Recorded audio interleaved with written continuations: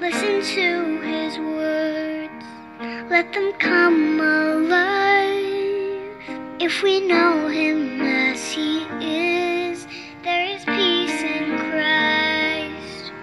He gives us hope when hope is gone.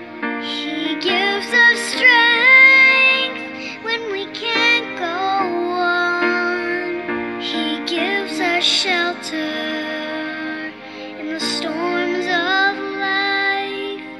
There's no peace on earth, there is peace in Christ.